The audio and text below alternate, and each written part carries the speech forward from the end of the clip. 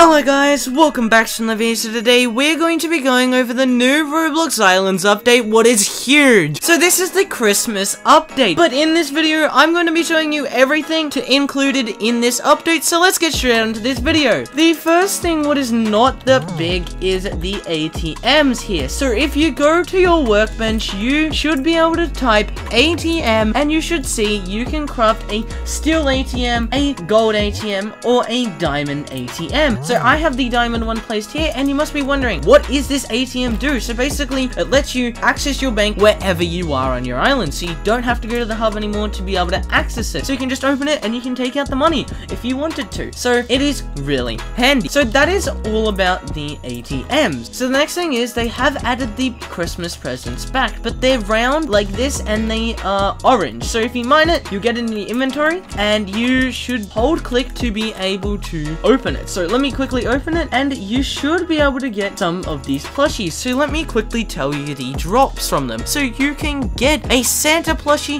a golem, a elf, a penguin, a reindeer, a white reindeer, a candy cane, uh, a white reindeer, a candy cane scepter weapon, and a Christmas event 2022 trophy and penguin pet egg. So the penguin looks like this right here, but yeah, that's what you can get out of those presents. By the way, none of this, none of these items are actually tradable right now. So maybe the ATM might be tradable and maybe the plushies, but pretty much nothing else like the weapon or the trophy or the penguin pet will not be tradable until the end of the update. So when the update finishes in three weeks time, so there's going to be multiple parts of this update. So there's going to be part two of the Christmas update next week and so on, so on, so on. Now, we're going to go straight to the hub for the next part. So I recommend you to be in a public server for this one because you need to be in a public server to be able to do this. Alrighty, so let's just go over the basics first. They have redone the whole Christmas lobby. So it is all being redone and actually looks really cool. But there is this new area, so basically what you're going to have to do is get over that area, is follow this path, so turn left at the Christmas tree, follow this path, go all the way down and go back here, all the way to this little area where the Halloween event was. So if we go over there, so we're in like this little village where there, there are these little evil looking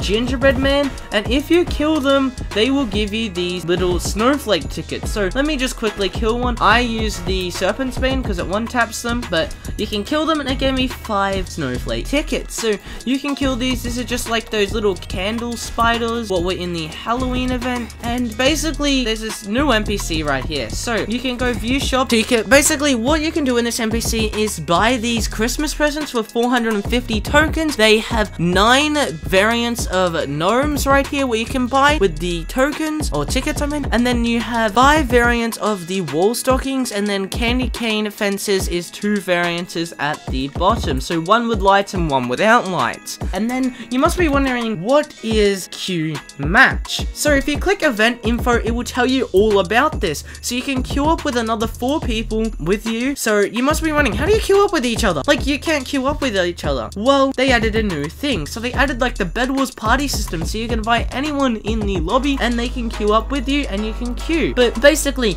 there is 10 people in the match. There is 5 people on each side and it is a snowball fight. You will learn to go around collect these presents to get you like uh, a boost and stuff and they only last for like usually they're around 15 seconds but you can get longer ones. So there's like speed boosts and other things to help you. If you hover over it it will tell you on what it actually does what is pretty cool. Then you if you run out of snowballs because you'll spawn with like 30 snowballs you can go around the map and they should be some placed on the ground. If you walk into it it will give you snowballs and you should be able to equip 40 at max and yeah you can once you have got 30 kills your whole team so if you've killed the other people 30 times you will win and you'll get around 200 of these snowflake tickets so that is how you can do that so we're gonna quickly queue up to this and I'll show you on how it actually works okay as you can can see where you're in, um, and you, it's best to queue up with some of your friends, or just some good people you know how to play or something. And just collect these presents. As you can see I just got this one. I don't know how to pronounce that but